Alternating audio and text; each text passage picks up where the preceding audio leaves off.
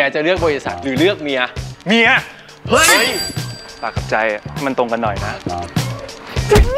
ถ้ากำจัดศัตรูตัวสำคัญได้แค่ตัวเดียว ทุกอย่างก็จบหน้าที่ก็สิ้นสุด ทำไมเราถึงมีประสบการณ์อะไรคล้ายๆกัน แล้วเราก็เกลียดคนคนเดียวกันห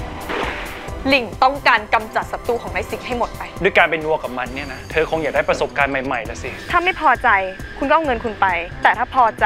ก็ทิ้งเงินไว้ เธอมีความสุขได้เพที่อราะยู่กับรัก เรา คืนนี้ 20นาฬิกา30นาทีดูทีวีกด 33 ดูมือถือกด3 plus